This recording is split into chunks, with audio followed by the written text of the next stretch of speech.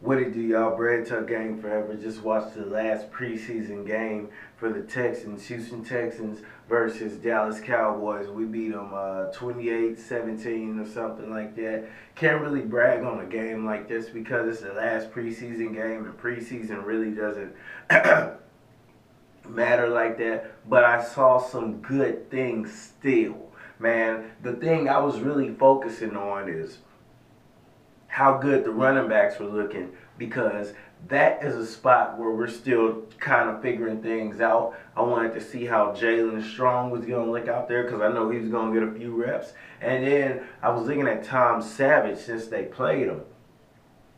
I personally don't think he should have played because if you remember last season, he got hurt in the last in the final preseason game. And a little bit on that, I think we faked the injury for him because you know uh, teams usually keep two quarterbacks, and we had both paid Brian. I mean, we had paid Brian Hoyer and Ryan Mallett some decent money to be you know quarterbacks. So I think that.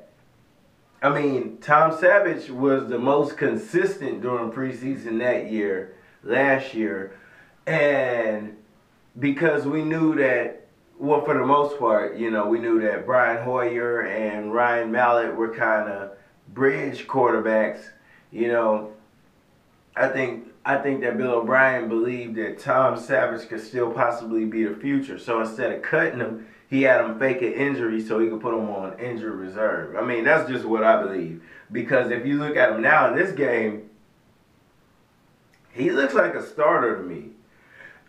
now, of course, you're not gonna start him over over Osweiler, and Osweiler is looking pretty tough out there.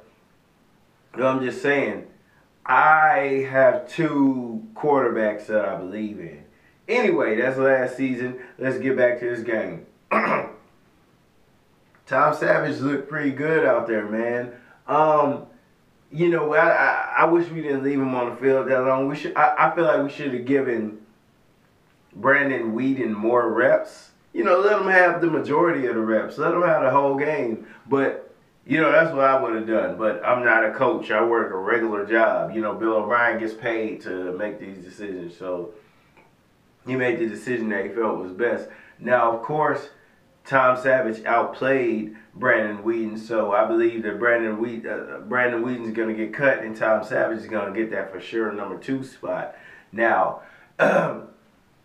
you know, Mumphery's had some good looks out there, but I think it's going to be tough for him. Cecil Shorts also has some good looks out there, and it's it just shows you how things change because last year Cecil Shorts was on the sidelines because he made the team. This year he's on the bubble because we so deep at receiver. So I think it's going to be tough for Mumphery's and tough for Cecil Shorts. And even that number 14 guy, he has some good uh, catches but I mean, of course, I, I doubt he makes it. But at running back, man, of course you got Lamar Miller starting.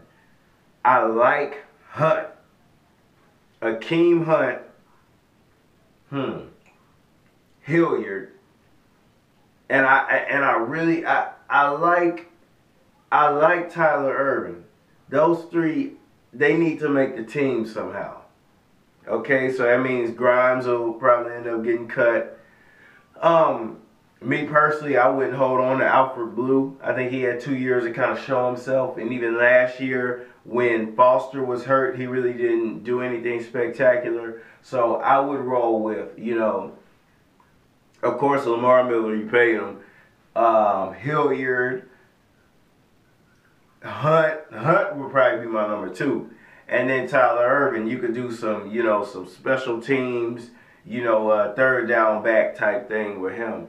But um, this video is gonna be pretty short because what I was looking at, you know, I didn't pay too much. I, I mean, I was paying attention, but there was just certain things I was looking at, man, and that was pretty much it. And that other defensive end spot, I'm just wondering, like, are we gonna go Covington, Christian Covington, on the other side, J.J. Watt when he gets back? Are we gonna go Christian Covington, or are we gonna go with uh, Devon Still, man? Um, these are things I'm just looking at, man.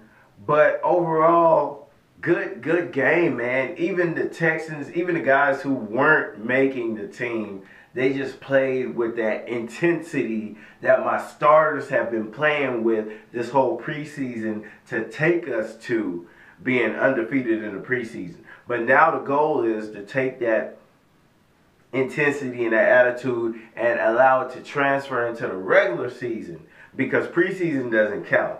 But September 11, we open up against the Bears, man. I need a victory.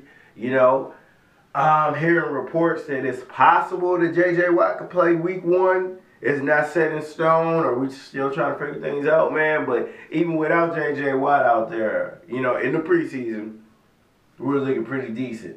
So having him out there would be a plus.